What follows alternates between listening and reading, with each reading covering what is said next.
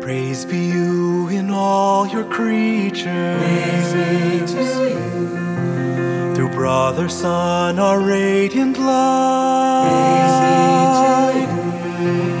Praise be you through sister moon. stars, you form them bright.